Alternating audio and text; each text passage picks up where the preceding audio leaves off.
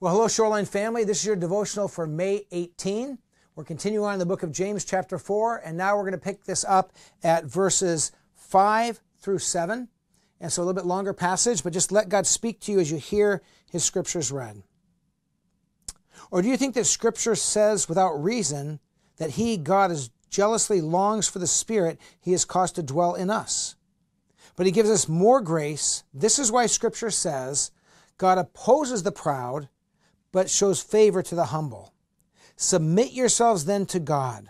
Resist the devil, and he will flee from you.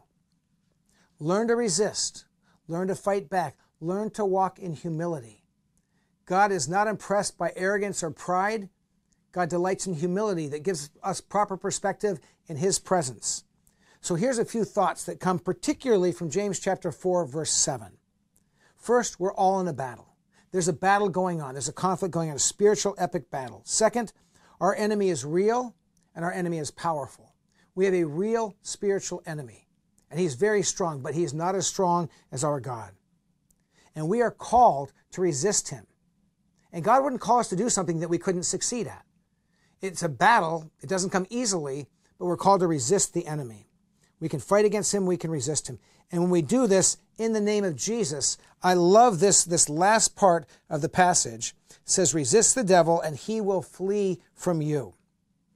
When we stand against the enemy, when, when we name his attacks for what they are, we resist him and push back against him, he turns and he runs.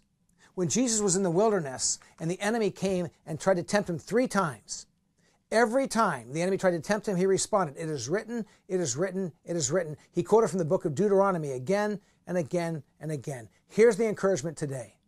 When you face spiritual battles, lies of the enemy, speak the truth back against the enemy, against his lies. Speak God's word, the scriptures, to whatever he brings. Hold to God's truth, stand strong, resist the devil, and he will flee from you.